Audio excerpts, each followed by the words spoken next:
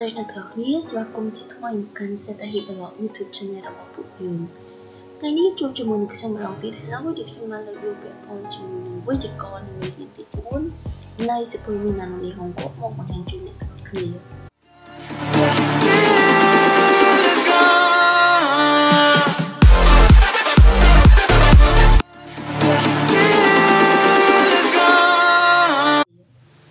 នៅក្នុង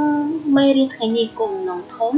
ដែលខ្ញុំបានលើកយកជូនបង្ហាញអ្នកទាំងអស់គ្នាគឺអ្នកទាំងអស់គ្នានឹងអាចនឹងបែកកិរិយាសព្ទនៅក្នុងនៃទម្រង់ស្របទៅទម្រង់បដិសេធនៃទម្រង់ស្របនៅក្នុងអតីតកាលទៅទម្រង់បដិសេធអតីតកាលថាតើវាមានលក្ខណៈបែបណានោះយើងនឹងចូលទៅស៊ីជម្រៅជាមួយនេះនៅក្នុងស្លាយនេះទៅមុននឹងបញ្យល់នៅអត្ថន័យនៃមេរៀនថ្ងៃនេះ ខ្ញុំក៏សូមបញ្ជាក់អ្នកទាំងអស់គ្នាផងដែរថាសេដ្ឋី blog YouTube channel របស់ពួកយើងគឺធ្វើការបង្រៀនជប៉ុនតាមរយៈអនឡាញដែលអត់គិតថ្លៃអ្នកទាំងអស់គ្នាអាចស្វែងរកវីដេអូបង្រៀនភាសាជប៉ុនផ្សេងផ្សេងទៀតនៅក្នុង YouTube channel របស់ពួកយើងអ្នកទាំងអស់គ្នាគ្រាន់តែចូលទៅក្នុង YouTube ហើយវាយពាក្យថាសេដ្ឋី blog អ្នកទាំងអស់គ្នានឹងអាចស្វែងរកវីដេអូបង្រៀនភាសាជប៉ុនផ្សេងផ្សេងទៀតពីក្នុងការងាររបស់ពួកយើង ហើយសូមកុំភ្លេចធ្វើការ Subscribe ដើម្បីទទួលបានពលវីដេអូផ្សេងៗទៀតដែលក្រុមការងាររបស់ពួកយើងតែងតែធ្វើការ upload ជារៀងរាល់ថ្ងៃអូខេដើម្បីកុំឲ្យខាត់ពេលយូរយើងនឹងចូលទៅសិក្សានៅមេរៀនរបស់យើងទាំងអស់គ្នាដូចដែលខ្ញុំបានបញ្ជាក់ពីគោលបំណងខាងលើថាថ្ងៃនេះអ្នកទាំងគ្នានៅអាចរៀនក្នុងការបំបែកអឺកិរិយាសព្ទពីទំនួលស្របពីទំនួលបរិសេធពីទំនួលស្របរបស់ ការទៅទំនួលបដិសេធទៅទៅការតែត្រង់ខ្ញុំបានដឹងរួចមកហើយថាអឺនៅក្នុងភាសាជប៉ុន word បញ្ចប់ដោយ masu នៅក្នុងវីដេអូមុនខ្ញុំបានបញ្ជាក់អ្នកទាំងអស់គ្នាហើយថា word គឺបញ្ចប់ដោយ masu ហើយនៅពេលដែលវាបញ្ចប់ដោយ masu នៅក្នុងភាសាជប៉ុននោះដែរនោះវាមានលក្ខណៈ do អនិថាអឺ ពីទម្រង់ស្រោបទៅបដិសេធវត្តនោះមានលក្ខណៈដូចគ្នាពីទម្រង់ស្រោបមកទម្រង់អតីតកាលវត្តនោះមានលក្ខណៈដូចគ្នាហើយពីទម្រង់អតីតកាលទៅទម្រង់បដិសេធផងអតីតកាលវត្តនោះក៏មានផ្ដោតរៀងតែវត្តមួយណាជាទម្រង់ស្រោបមួយណាជាទម្រង់អតីតកាលមួយណាជាទម្រង់បដិសេធមួយណាបដិសេធផងអតីតកាលនោះយើងនឹងទៅមើលទាំងអស់គ្នាចា៎ word ដែលបញ្ចប់ដោយ master គឺជា word ដែលប្រើនៅក្នុង ប្រយោគស្រោបនៃការបច្ចុប្បន្នភាពថាតើការបច្ចុប្បន្នភាពនោះគឺជាការបែបម៉េចទៅគឺជាការដែលកើតឡើងនៅក្នុងពេលបច្ចុប្បន្នរាល់សកម្មភាពដែលកើតឡើងក្នុងពេលបច្ចុប្បន្នយើងហៅថាការបច្ចុប្បន្នភាពហើយ verb ដែលបញ្ចប់ដោយ massive គឺគេប្រើនៅក្នុងប្រយោគស្រោបប្រយោគស្រោបអញ្ចឹង verb ដែលបញ្ចប់ដោយ massive គឺត្រូវបានគេប្រើនៅក្នុងប្រយោគស្រោបនៃការបច្ចុប្បន្នភាពនៃការបច្ចុប្បន្នភាព នេះគឺជាអ្វីដែលអ្នកទាំងអស់គ្នាត្រូវចងចាំអញ្ចឹងរាល់សកម្មភាពទាំងឡាយណាដែលកើតនៅក្នុងអ្នកទាំងអស់គ្នាចង់និយាយ về ក្នុងប្រយោគស្របហើយកើតអឺនៅក្នុងពេលបច្ចុប្បន្នអ្នកទាំងអស់គ្នាត្រូវភ្ជាប់ជាមួយនឹង verb ដែលបញ្ចប់ដោយ massive ចុះចំណែក verb ដែលបញ្ចប់ដោយ massive តើត្រូវបានគេប្រើបែបទៅគឺត្រូវបានគេប្រើនៅក្នុងប្រយោគបដិសេធដែលគេបដូរពី massive ដល់ជា mau masen ហើយ ប្រយោគ masen ហ្នឹង verb masen ហ្នឹងគឺត្រូវបានគេប្រើនៅក្នុងប្រយោគបដិសេធនៃការបច្ចុប្បន្នភាពការបច្ចុប្បន្នភាពដូចគ្នាប៉ុន្តែប្រើនៅក្នុងប្រយោគបដិសេធអញ្ចឹងពី masu មក masen គឺគេប្រើ masen នៅក្នុងប្រយោគបដិសេធនៃការបច្ចុប្បន្នភាពជាអ្វីដែលអ្នកទាំងអស់គ្នាត្រូវចងចាំអញ្ចឹងនៅពេលដែលអ្នកទាំងអស់គ្នាចង់បដិសេធថាអ្នកទាំងអស់គ្នាមិនអីមួយអ្នកទាំងអស់គ្នានឹងត្រូវប្រើ masen ប៉ុន្តែនៅក្នុងអឺពេលដែលអ្នកនរនិយាយហ្នឹងគឺក្នុងពេលបច្ចុប្បន្នភាពអញ្ចឹងអ្នកនរអាចប្រើ mindset verb mindset នឹងបានចំណែក verb mashita ដែលគេប្រើពី verb mashi masu mau mashita mashita អញ្ចឹង verb mashita verb ដែលបញ្ចប់ដោយ mashita ត្រូវបានគេប្រើនៅក្នុងប្រយោគស្របនៃការអតីតកាល តើតើការអតីតកាលហ្នឹងវាមានលក្ខណៈបែបនេះទៅ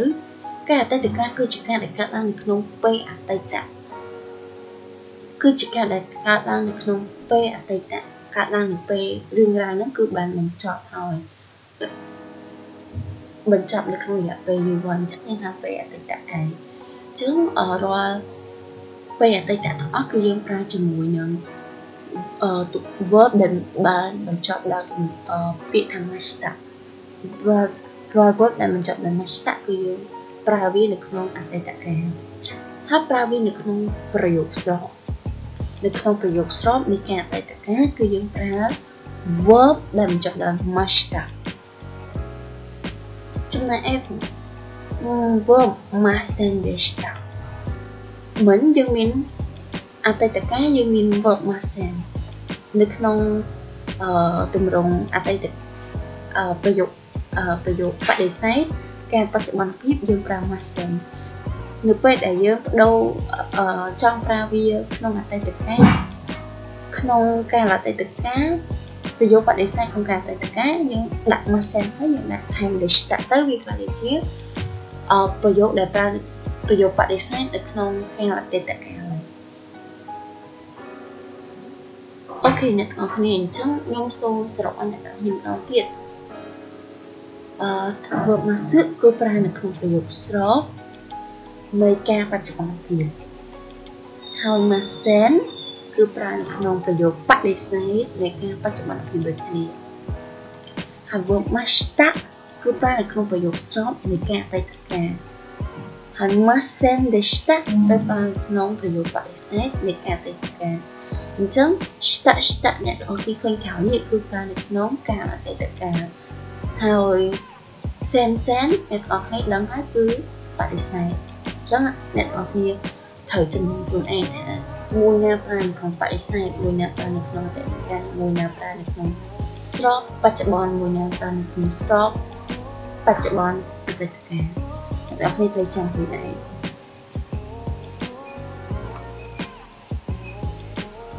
អូខេកន្លែងនេះខ្ញុំចង់បញ្ជាក់អ្នកទាំងអស់គ្នាថែមទៀតអថា លក្ខណៈដូរហ្នឹងវាមានលក្ខណៈបែបនេះទៅអញ្ចឹងយើងក៏លេចមើលនៅឧទាហរណ៍នៃនៃកិរិយាសព្ទមួយដែលខ្ញុំបានលើកឡើងគឺកិរិយាសព្ទ verb okimas verb okimas គឺយើងបដូរពី verb okimas នេះគឺយើងអឺប្រើនៅក្នុងទម្រង់អឺបច្ចុប្បន្នភាពអ្នកទាំងនេះចាំអត់ថា masu masu យើងប្រើនៅក្នុងបច្ចុប្បន្នភាព បច្ចុប្បន្នភាពដូចដែលខ្ញុំបានបញ្ជាក់ខាងលើចឹងមិនមែនអតីតមិនមែនអតីតអញ្ចឹងមិនមែនអតីតគឺបច្ចុប្បន្នភាពអញ្ចឹងអឺនៅក្នុងទម្រង់ស្របបច្ចុប្បន្នភាពរបស់យើងគឺ masu ហើយបើសិនជាយើងបដូរពី masu មក mashita គឺនៅក្នុងទម្រង់ស្របដូចគ្នាប៉ុន្តែអតីតកាលអញ្ចឹងបដូរពី masu មក mashita ទម្រង់ស្របដូចគ្នាប៉ុន្តែអតីតកាលចំណែក masen វិញយើង អឺគឺប្រើនៅក្នុងប្រយោគបដិសេធប្រយោគបដិសេធនៃនៃការបច្ចុប្បន្ននៃការបច្ចុប្បន្នភាពបដិសេធនៃការបច្ចុប្បន្នភាពហើយយើងបដូរពី masen មកយើងថែម masen deshita ខ្លះទៅជាទម្រង់អតីតកាលក៏ខ្លះទៅជាទម្រង់ប្រយោគបដិសេធនៅក្នុងអតីតកាលអញ្ចឹងយើងបដូរពី masen មក masen deshita លោ កពីទម្រង់បដិសេធបច្ចុប្បន្នមកបបដិសេធក្នុងអតីតកាលអូខេអ្នកទាំងអស់គ្នាអញ្ចឹងខ្ញុំសូមសំយោគមកវិញអ្នកទាំងអស់គ្នាត្រូវចងចាំហ្នឹងគឺថា shita shita គឺកើតឡើងនៅក្នុងអតីតភាពនៅក្នុងអតីតកាលហើយ sen sen masen masen masen ហ្នឹងគឺគឺគឺប្រើនៅក្នុងប្រយោគបដិសេធអញ្ចឹងអ្នកទាំងអស់គ្នាចាំទៅថាម្ដងទៀត okimas បដូរទៅ okimashita អឺពីបច្ចុប្បន្នភាពដល់មកអតីតកាលមកសឹកមកមកស្តាប់ហើយអឺប្រយោគបដិសេធហ្នឹងគឺបញ្ចប់ដោយ masen អញ្ចឹងពី masen មក masen ដែលស្តាប់ពីអតីតកាលបច្ចុប្បន្នភាពមកអតីតកាលអឺប្រយោគបដិសេធបច្ចុប្បន្នភាពមកបដិសេធអតីតកាល masen មក masen ដែលស្តាប់អញ្ចឹងពីពាក្យថា okimasen មកពាក្យថា okimasen ដែលស្តាប់ អូខេអ្នកទាំងអស់គ្នាខ្ញុំក៏បានលើកបាននៅឧទាហរណ៍ចំនួន6អឺជួយអ្នកទាំងអស់គ្នាផងដែរថាតើឲ្យអ្នកទាំងអស់គ្នានឹងយល់កាន់តែច្បាស់ថាតើលក្ខណៈនៃការប្រើប្រាស់ហ្នឹងវាមានលក្ខណៈបែបម៉េចអញ្ចឹងយើងសិក្សាទាំងអស់គ្នាអ ចំពោះឧទាហរណ៍ទី1ខ្ញុំនឹងអានជូនអ្នកទាំងអស់គ្នា私は11時に仕事を終わりません私は11時に仕事を終わりません អញ្ចឹងអ្នកគ្នាអាចកំណត់សម្គាល់បានទេថា awarimasen នេះគឺជាទម្រង់អីគេគឺប្រើលក្ខណៈបែបមិនដែរចាស់គឺគេប្រើនៅក្នុងទម្រង់បច្ចុប្បន្នភាពអប្រយោគបដិសេធបច្ចុប្បន្នភាពអញ្ចឹងវាគឺជាទម្រង់បដិសេធដែលគេបញ្ចប់ដោយ masen ហើយនៅក្នុងការបច្ចុប្បន្នភាពអញ្ចឹងមិនថាប្រយោគនេះគឺអ្នកនិយាយក៏បាននិយាយថាខ្ញុំមិន ទាន់បានបញ្ចប់ការងារនៅម៉ោង11ទេអញ្ចឹងថាខ្ញុំមិនបានបញ្ចប់ការងារនៅម៉ោង11ទេណាប្រហែលជាគាត់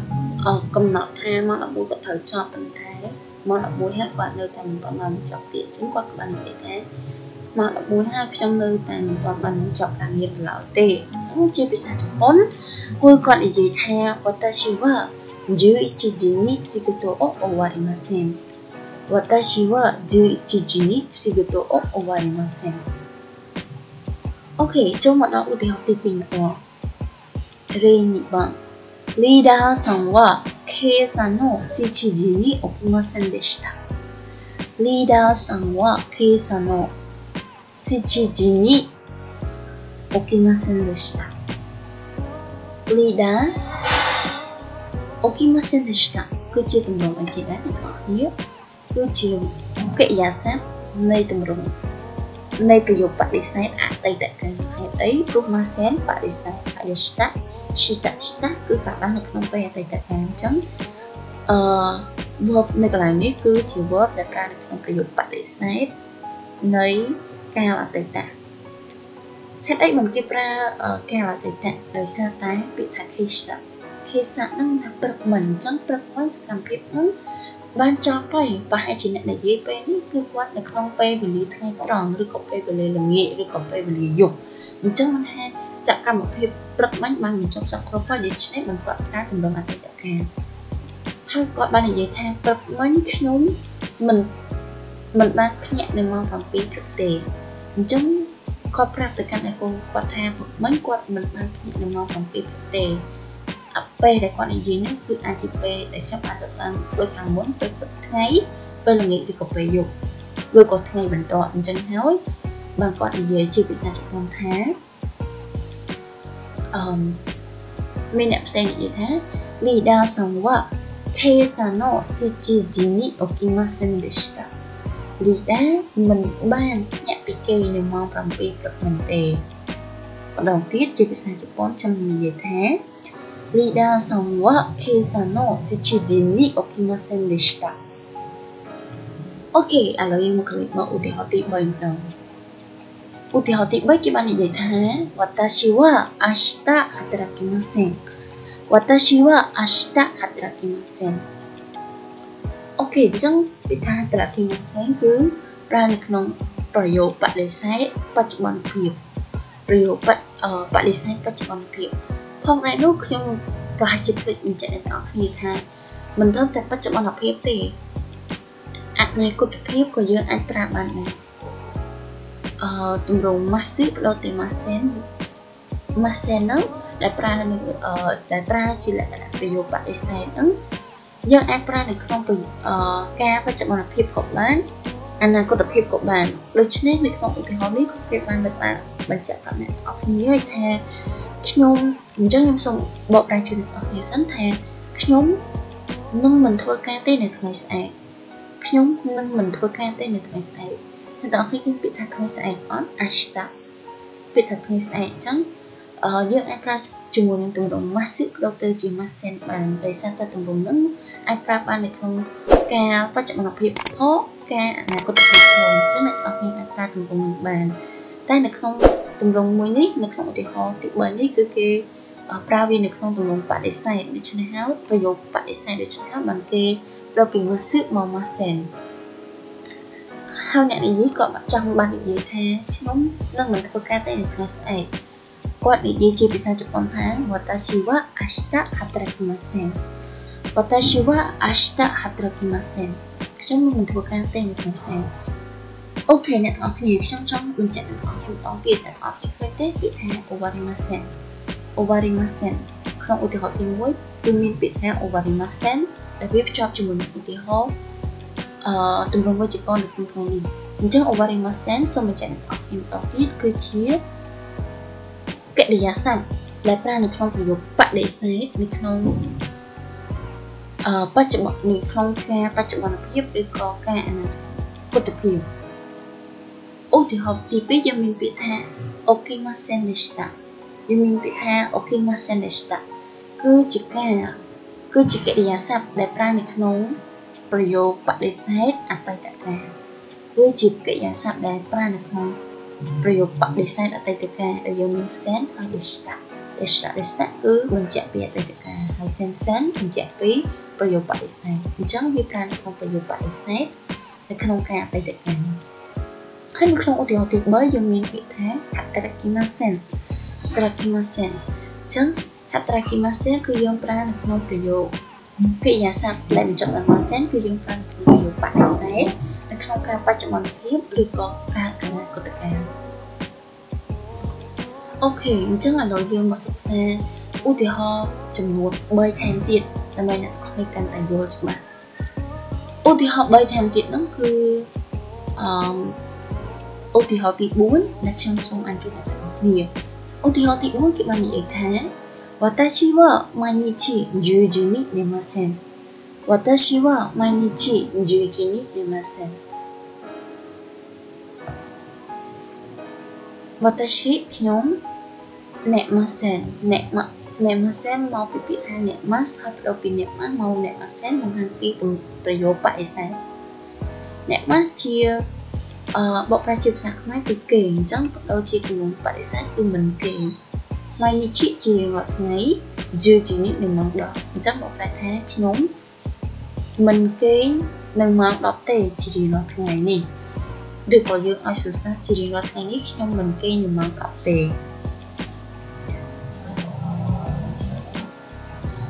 អូខេចឹងខ្ញុំសូមអញ្ជើញអ្នកទាំងគ្នាម្ដងទៀត 私は毎日10時に寝ません。私は毎日10時に寝ません。ជាភាសាខ្មែរខ្ញុំជារៀងរាល់ថ្ងៃមិនគេងនៅម៉ោង10ទេអញ្ចឹងសូមបញ្ជាក់ verb កន្លែងនេះអ្នកទាំងអស់គ្នាទៀតថា nemas មកពីពាក្យថា nemasen មកពីពាក្យថា nemas ដូរទៅជាប្រយោគបដិសេធទៅជា nemasen អឺឥឡូវយើងចូលកលេចមើលឧទាហរណ៍ទី5ម្ដងឧទាហរណ៍ទី5គឺបាននិយាយថា私は昨日勉強しませんでした。私は昨日勉強しませんでした。昨日、昨日កាលពីម្សិលមិញ勉強しませんでした。勉強しませんでしたបានមកពីពាក្យថា勉強しまដែលមានអត្ថន័យថារៀនហើយគេបានបដូរវាទៅしませんでしたអញ្ ចឹងគេបញ្ចប់ដោយ Massenista ដែលបកប្រែថាមិនបានរៀនអញ្ចឹងមិនបានរៀនចឹងអ្នកទាំងអស់គ្នាឮពាក្យថាមិនហើយបានបានបានហ្នឹងមកទាំងពីអ្វីដែលបានកាត់ឡើងនៅក្នុងពេលទឹកការបរិថាគឺគាត់បានបានរៀនមិនបានរៀនណាគាត់បានបញ្ជាក់ថាបិទធម៌តែតែហ្នឹងគឺគាត់អត់បានរៀនទេហើយគាត់ក៏បាន លើកយកពាក្យថាគិណូមកផងដែរដែលបានបញ្ជាក់នៅកាលអតីតគិណូហ្នឹងមិនន័យថាម្សិលមិញអញ្ចឹងម្សិលមិញគឺជារឿងរ៉ាវដែលបានបញ្ចប់រួចហើយទាំងអស់អ្នកទាំងអស់គ្នាម្សិលមិញម្សិលមិញគឺអ្វីទាំងអស់ហ្នឹងបានបញ្ចប់រួចហើយហើយសកម្មភាពហ្នឹងគឺគាត់ប្រើនៅក្នុងនៅពេលដែលម្សិលមិញបានបញ្ចប់រួចហើយគឺគាត់ត្រូវប្រើនៅក្នុងការអតីតប៉ុន្តែក្នុងការអតីតហ្នឹងគាត់បានលើកយកទម្រង់បដិសេធមកដែរអញ្ចឹង គាត់បានប្រើនៅក្នុងទម្រង់បដិសេធអតីតដែលយើងបាននិយាយគ្នារួចហើយថាបដិសេធអតីតគឺយកបញ្ចប់ដោយ Masen Deshta អញ្ចឹងគាត់បាននិយាយថាខ្ញុំកាលពីម្សិលមិនបានរៀនទេខ្ញុំមិនបានរៀនទេកាលពីម្សិលមិញអញ្ចឹងគាត់បាននិយាយជាភាសាជប៉ុនថា私は昨日勉強しませんでした私は昨日勉強しませんでした勉強しませんでした ឥឡូវយើងចូលមកដល់ឧទាហរណ៍ទី6ម្ដង私は土曜日休みます Watashi wa ryobi yasumimasu ខ្ញុំយស្មីម៉ាសមកប្រើជាភាសាខ្មែរថាជប់សម្រាប់ដូយោប៊ីនៅថ្ងៃសៅរ៍អញ្ចឹងខ្ញុំជប់សម្រាប់នៅថ្ងៃសៅរ៍អញ្ចឹងគាត់អឺគាត់អាចថ្ងៃនេះអឺថ្ងៃនេះអាចជាថ្ងៃសុក្រដែលគាត់បានបញ្ជាក់ថ្ងៃស្អែកហ្នឹងដែលជាថ្ងៃសៅរ៍ហ្នឹងគាត់នឹងជប់សម្រាប់ ឬក៏អឺថ្ងៃហ្នឹងគឺជាថ្ងៃសៅរ៍បច្ចុប្បន្នពេលហ្មងហើយគាត់និយាយថាថ្ងៃហ្នឹងថ្ងៃសៅរ៍គាត់ជប់សម្រាប់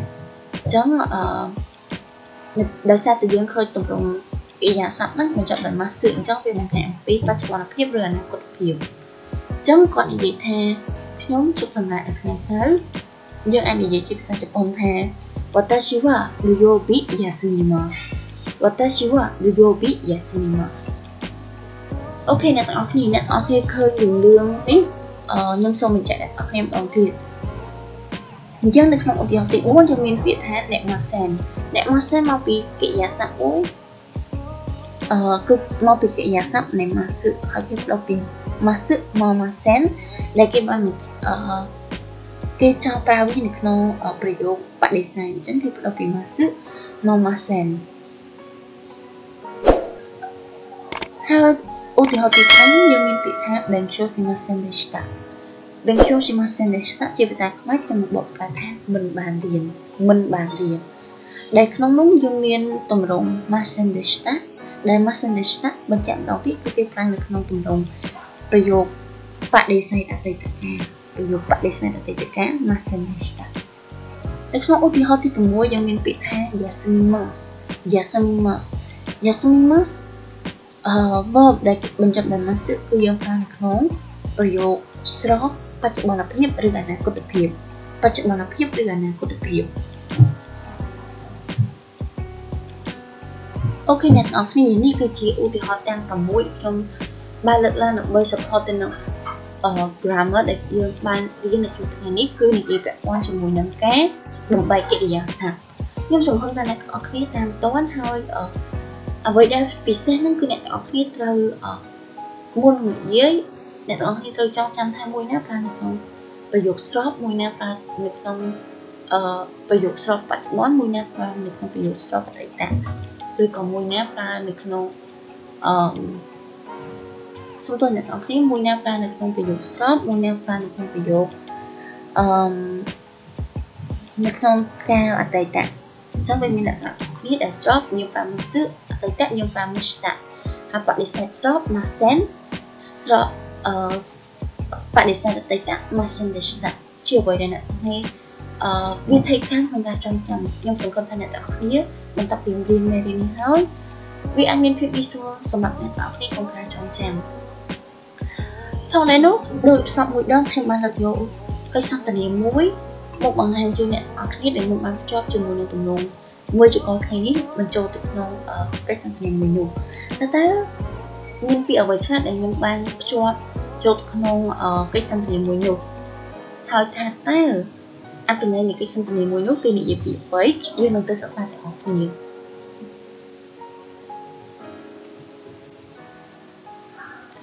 នៅក្នុងកិច្ចសន្ទនានេះគឺមានបុគ្គលពីររូបមានបុគ្គល A ហើយនិងបុគ្គល B ដូចសពមួយដងដែរហើយកិច្ចសន្ទនាមួយហ្នឹងគឺចាប់ដើមដោយបុគ្គល A គាត់បាននិយាយគាត់បាននិយាយថា今日何日ですか今日何日ですかថ្ងៃនេះតើជាថ្ងៃអ្វីដែរទៅថ្ងៃនេះគឺជាថ្ងៃអ្វីហាប៊ីក៏បានឆ្លើយថា今日金曜日です今日金曜日ですថ្ងៃនេះគឺជាថ្ងៃសុក្រ金曜日ថ្ងៃសុក្រ今日金曜日です ហើយអេគាត់បាននិយាយបន្តじゃあ明日土曜日ですねじゃあ明日土曜日ですねអញ្ចឹងដោយសារថ្ងៃនេះថ្ងៃសុក្រអញ្ចឹងអេគាត់បានតបថាអូអញ្ចឹងស្អែកថ្ងៃសៅរ៍ទៅអត់私の会社で働きません私の会社で働きませんណាអឺនៅក្រុមហ៊ុនរបស់ខ្ញុំ ដោយសារតែវាជាថ្ងៃសៅរ៍ស្អែកអញ្ចឹងនៅក្រុមហ៊ុនរបស់ខ្ញុំអត់ធ្វើការងារអញ្ចឹងមិនថាក្រុមហ៊ុនរបស់ A ហ្នឹងថ្ងៃសៅរ៍គឺគាត់អត់ធ្វើការងារយើងមានពាក្យថា hatrakimasen hatrakimasen មកពីពាក្យថា hatrakimas យើងបដូរទៅពី hatarakimas មក hatarakimasen ដែលយើងចង់បញ្ជាក់គេថាអឺវាប្រើនៅក្នុងប្រយោគបដិសេធអញ្ចឹងបដិសេធ massive មក masen verb ទាំងឡាយណាដែលបញ្ចប់ដោយ masen គឺប្រើនៅក្នុងប្រយោគបដិសេធនៃការបច្ចុប្បន្នភាពឬក៏អនាគតកាលអញ្ចឹងអឺគាត់ចង់បញ្ជាក់ថាអូអញ្ចឹងក្រុមហ៊ុនគាត់ថ្ងៃសៅរ៍អត់ធ្វើការអីអញ្ចឹងគាត់លិចធន់ណាចឹងគាត់ធ្វើថ្ងៃហ្នឹងថ្ងៃអីហើយលិចហើយថាថ្ងៃហ្នឹងថ្ងៃសុក្រអញ្ចឹងគាត់និយាយថាអូមួយថ្ងៃហ្នឹងថ្ងៃសុក្រស្អែកថ្ងៃសៅរ៍ទៅអញ្ចឹងក្រុមហ៊ុនខ្ញុំអត់ធ្វើការឯងថ្ងៃសៅរ៍ហើយ B គាត់បានថាគាត់បាននិយាយតថា so desu ka អូអញ្ចឹងហ៎ watashi wa hatarakimasu ខ្ញុំត្រូវធ្វើការ nichiyobi dake yasumimasu អឺបញ្ហាក្រុមហ៊ុនគាត់ហ្នឹងឈប់សម្រាប់តែនៅក្នុងថ្ងៃអាទិត្យទេគាត់បាននិយាយថា nichiyobi dake nichiyobi ហ្នឹងថ្ងៃអាទិត្យគាត់ dake ប៉ុណ្ណោះតែមួយប៉ុណ្ណោះអីមួយដែរមួយក៏ពីរអញ្ចឹងបង្ហាញពីភាពតិចគឺយើងប្រើ dake យ៉ាងថាគាត់ឈប់តែថ្ងៃអាទិត្យប៉ុណ្ណោះ Yasmima ជប់សម្រាប់អញ្ចឹងជប់សម្រាប់តែថ្ងៃអាទិត្យប៉ុណ្ណោះសូមបញ្ជាក់ឲ្យដាប៊ីបាននិយាយម្ដងទៀតគាត់បាននិយាយថា so desu ka អញ្ចឹងឬ watashi wa hatarakimasu ចំណែកខ្ញុំវិញគឺធ្វើការទោះបីជាថ្ងៃសៅរ៍ក៏ដោយក៏គាត់នៅតែធ្វើការដែរហើយគាត់បាននិយាយបន្តថា Nichiyobi dake yasumimasu Nichiyobi dake yasumimasu អញ្ចឹងនៅក្នុងអឺកន្លែងដែល B និយាយហ្នឹងវាមានរឿងរឿងដែលភ្ជាប់ជាមួយនឹង grammar ដែលយើងនិយាយនៅក្នុងថ្ងៃនេះគឺមានពាក្យថា hatrakimas និងពាក្យថា yasimimas ពាក្យទាំងពីរគឺបង្ហាញពីប្រយោគស្របដែលបានក្នុងការបច្ចុប្បន្នភាពឬក៏ការអនាគតកាលអញ្ចឹងការពាក្យទាំងពីរហ្នឹងពាក្យវាសទាំងពីរហ្នឹងគឺបង្ហាញពីអឺប្រយោគស្របដែលប្រើនៅក្នុងបច្ចុប្បន្នភាពឬក៏អនាគតកាលហើយអេបញ្ជាក់ថា Nichiyobi Yasimimasu ne 日曜日休みますね。日曜日一緒に旅行に行きませんか日曜日一緒に旅行に行きませんかអូអអញ្ចឹងជប់សម្រាប់ថ្ងៃអាទិត្យត្រូវអត់ជប់សម្រាប់ថ្ងៃអាទិត្យត្រូវអត់អមិនម៉ាថ្ងៃអាទិត្យហ្នឹងទៅដើរលេងមួយគ្នាអីហ្នឹងហើយមិនម៉ាថ្ងៃអាទិត្យហ្នឹងទៅដើរលេងមួយគ្នាអីចឹងគាត់បាននិយាយជាផ្នែកជប៉ុនថានេះជាវិយាសិមាស្នេ អូអញ្ចឹងជួយសម្រាប់ថ្ងៃអាទិត្យដល់អឺនេះឈីយោប៊ីអ៊ីឈូនីឬយោពូនីអ៊ីគីម៉ាសិនកាអញ្ចឹងថ្ងៃអាទិត្យទៅដើរលេងមួយគ្នាអីអញ្ចឹងថ្ងៃអាទិត្យទៅដើរលេងមួយគ្នាអ៊ីឈូនីជាមួយគ្នាឬយោពូដំណើរកំសាន្តអ៊ីគីម៉ាសិនកាគឺជាទម្រង់បបួរតើអត់តើមួយគ្នាអត់អញ្ចឹងគាត់បាននិយាយថាអញ្ចឹងថ្ងៃអាទិត្យទៅដើរលេងមួយគ្នាអត់ដើរលេងមួយគ្នាអី B បានឆ្លើយថា E E E ですអ៊ីអ៊ីអ៊ី des អ៊ីសូមពីតអ្នកនរគ្នាអ៊ី des អ៊ី des អ៊ី des អឺល្អតាどこに行きたいですかどこに行きたいですかどこមកសួរពាក់ព័ន្ធជាមួយនឹងទីកន្លែងទីណាអ៊ីគីតៃចង់ទៅកន្លែងណាអញ្ចឹងគាត់បានសួរថាល្អតើចង់ចង់ទៅកន្លែងណាដែរអេមិនឆ្លើយថាអូសាកានេះគីម៉ាសូអញ្ចឹងទៅអូសាកាហ្មងអញ្ចឹងទៅអូសាកាមួយគ្នា អូខេអ្នកទាំងអស់គ្នាអញ្ចឹងអឺម្ដងទៀតខ្ញុំសូមអានជូនអ្នកទាំងអស់គ្នាហើយបបប្រែជូនអ្នកទាំងអស់គ្នាហើយពន្យល់នៅអត្ថន័យនៃកិច្ចសន្ទនានេះអេ今日は何日ですかតើថ្ងៃនេះជាថ្ងៃអ្វីដែរ B 今日金曜日ですថ្ងៃនេះគឺជាថ្ងៃសុក្រ A じゃあ明日土曜日ですね私の会社で働きませんអូចុងស្អែកថ្ងៃសៅរ៍អឺ នៅក្រុមហ៊ុនរបស់ខ្ញុំអត់ធ្វើការទេ B そうですか私は働きます日曜日だけ休みますអូអញ្ចឹងឬខ្ញុំនៅតែធ្វើការហ្នឹងមានតែថ្ងៃអាទិត្យទេដែលខ្ញុំជប់សម្រាប់អេ日曜日休みますね日曜日一緒に旅行に行きませんかអូអញ្ចឹងជប់សម្រាប់ថ្ងៃអាទិត្យអអញ្ចឹងថ្ងៃអាទិត្យទៅដើរលេងមួយគ្នាអី B いいです どこに行きたいですかうんល្អតើអញ្ចឹងចង់ទៅណាដែរ A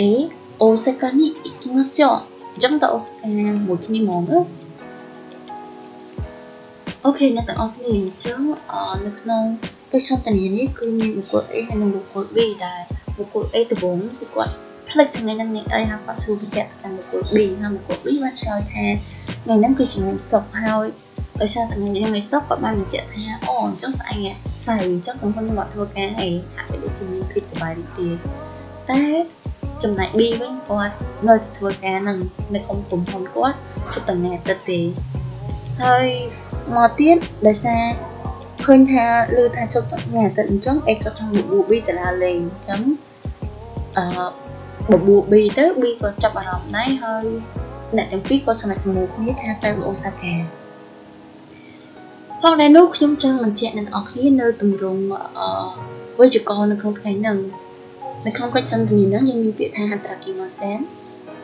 គឺជាប្រយោគបង្ហាញពីប្រយោគបដិសេធហន្តរាគីម៉ាសប្រយោគស្រោយ៉ាស្មីម៉ាប្រយោគស្រោយ៉ាស្មីម៉ាប្រយោគស្រោអញ្ចឹងនៅក្នុងកិច្ចសន្ទនានេះគេមានប្រើនៅក្នុងអឺប្រយោគយិគេមានប្រើនៅកិរិយាសព្ទដែលប្រើនៅក្នុងប្រយោគស្រោបដិសេធហើយនិងប្រយោគស្រោ អូខេអ្នកទាំងអស់គ្នាអញ្ចឹងខ្ញុំសូមអានជូនអ្នកទាំងអស់គ្នាម្ដងទៀតហើយអ្នកទាំងអស់គ្នានឹងថាតាមខ្ញុំ A 今日何日ですか今日何日ですかសូមអ្នកទាំងអស់គ្នាថាតាមខ្ញុំ B 今日金曜日です今日金曜日です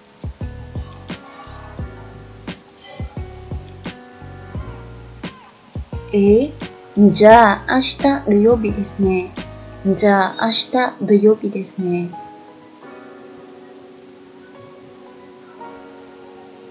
私の会社で働きません。私の会社で働きません。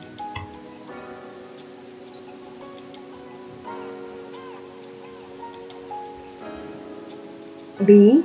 そうですか。そうですか。私は働きます。私は働きます。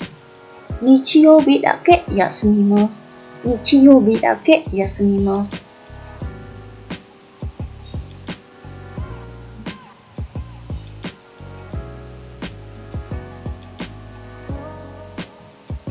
え？日曜日休みますね。日曜日休みますね。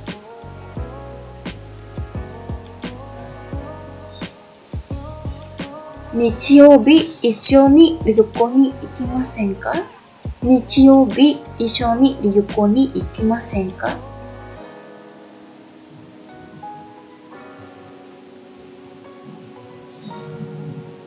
?B いいです。いいです。どこに行きたいですか？どこに行きたいですか？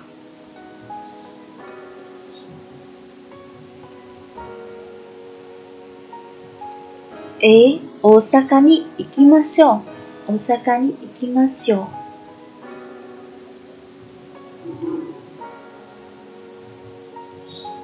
អូខេអ្នកទាំងអស់គ្នាអញ្ចឹងសរុបអត្ថន័យនៃមេរៀនថ្ងៃនេះគឺយើងនិយាយពាក់ព័ន្ធជាមួយនឹងការបំបែកកិរិយាសព្ទតែយើងយើងត្រូវចងចាំតែម្ដងថាពីកិរិយាសព្ទដែលបញ្ចប់ដោយ massive គឺគេប្រើនៅក្នុងប្រយោគស្របនៃការបច្ចុប្បន្នភាពឬក៏អនាគត អនាគតភាពហើយ verb masen ដែលបញ្ចប់ដោយ mas masen គឺយើងប្រើនៅក្នុងប្រយោគបដិសេធនៃការបច្ចុប្បន្នភាពឬអនាគតភាព verb mashta គឺយើងប្រើនៅក្នុងប្រយោគស្របនៃការអតីតហើយ verb machinista គឺយើងប្រើនៅក្នុងប្រយោគបដិសេធនៃការអតីតអញ្ចឹងអ្នកទាំងអស់គ្នាអ្វីដែលចងចាំហ្នឹងគឺ machin machin គឺប្រយោគបដិសេធ ហើយ desta desta គឺ shita shita គឺប្រើនៅក្នុងការអតីតអូខេអ្នកទាំងអស់គ្នាអញ្ចឹងថ្ងៃនេះខ្ញុំមានតែប៉ុណ្ណឹងខ្ញុំសង្ឃឹមថាអ្នកទាំងអស់គ្នាអឺនឹងរៀនអ្វីថ្មីជាមួយនឹងខ្ញុំថ្ងៃនេះមិនថារៀនបាននៅអ្វីថ្មីជាមួយនឹងខ្ញុំថ្ងៃនេះហើយសង្ឃឹមថាអ្នកទាំងអស់គ្នាអាចបំបែកកិរិយាសព្ទឬយើងបំបែកកិរិយាសព្ទហើយត្រឡប់ទៅវិញខ្ញុំសូមឲ្យអ្នកទាំងអស់គ្នាអឺរៀនបំបែកដោយខ្លួនឯងថាតើពាក្យ កិរិយាសព្ទមួយមួយបំបែកពីប្រយោគស្របទៅបដិសេធស្របអតីតកាលទៅបដិសេធអតីតកាលហ្នឹងវាមានលក្ខណៈបែបហ្នឹងខ្ញុំសូមឲ្យអ្នកគ្នារៀនថែមបន្ថែមទៀតដើម្បីឲ្យយើងមានការចងចាំកាន់តែច្បាស់ហើយនៅពេលដែលយើងនិយាយទៅយើងមានការ reflect កាន់តែលឿនខ្ញុំសង្ឃឹមថាវាជាមេរៀនមួយដែលអាចជួយឲ្យអ្នកទាំងអស់គ្នាអឺមានចំណេះដឹងបន្ថែមហើយអរគុណសម្រាប់ការចូលមើលទស្សនាវីដេអូថ្ងៃនេះ ហើយកុំភ្លេចធ្វើការ subscribe ដើម្បីទទួលបានវីដេអូផ្សេងៗទៀតផងដែរនោះបើសិនជាអ្នកទាំងអស់គ្នាមាន comment ឬក៏ suggestion អីទៅលើការបញ្យល់របស់ខ្ញុំថាតើវាលឿនពេកឬក៏យឺតពេកថាវាមានលក្ខណៈមិនច្បាស់កន្លែងណាចង់សួរជាសំណួរអ្នកទាំងអស់គ្នាអាច comment down បានអរគុណអ្នកទាំងអស់គ្នា